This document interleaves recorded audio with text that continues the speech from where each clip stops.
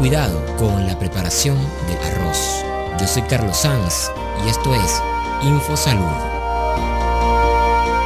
Uno de los patógenos que suele afectar el arroz es Bacillus cereus, para prevenir la contaminación, los expertos aconsejan hervirlo en pequeñas cantidades y reducir el tiempo de almacenamiento. Tras hervir, o bien se mantiene caliente y se consume al momento, o se enfría en la nevera en las dos horas siguientes. Debe evitarse almacenar el arroz hervido a temperatura ambiente o en condiciones de calor. El problema radica más en la forma en la que el arroz se enfría y luego se almacena. La bacteria puede sobrevivir en el arroz incluso si se cuece a temperaturas inferiores a 100 grados centígrados. Si el arroz se enfría y almacena a temperatura ambiente, la bacteria germina y se pueden producir enterotoxinas que permanecen en el alimento incluso después de recalentar. Por este motivo, es recomendable comer el arroz tan pronto sea posible después de que se haya cocinado, pero es seguro si se almacena en la nevera de forma inmediata en un recipiente hermético. Cuando se piensa consumir,